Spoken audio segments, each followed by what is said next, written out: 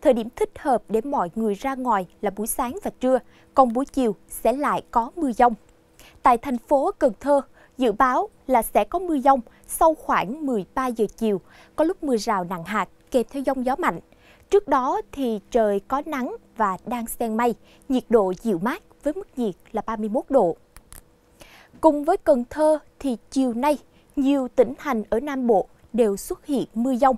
Trong đó thì ở miền Đông Nam Bộ, cục bộ sẽ có các điểm mưa to đến rất to, tương ứng với màu xanh lá với lượng là từ 50 đến 100 mm. Đề phòng ngập úng ở đô thị, vùng trũng thấp và đi kèm với đó là lốc xét và gió giật mạnh gây nguy hiểm. Mưa dông trong ngày cuối tuần sẽ khá là bất lợi cho mọi người khi mà di chuyển.